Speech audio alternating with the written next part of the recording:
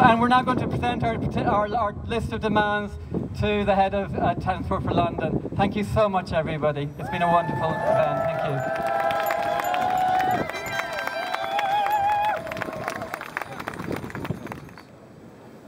you know, whilst the things have still been going on. And there's, there is nobody inside TfL that's not shaken by the uh, consequences of the different companies. I promise you, people are working extraordinarily hard.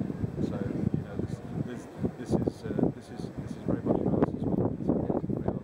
It's, we are, We want the culture to change. We really want to. I've been campaigning for cycling for 19 years, and I'm living in a borough where there is a zero budget cycle lane. That was approved by, by the mayor's office. I'm living in a borough where the head of transport and planning is opposed to cycle lanes. He says he wants to use cyclists to slow the traffic down. That's not good enough.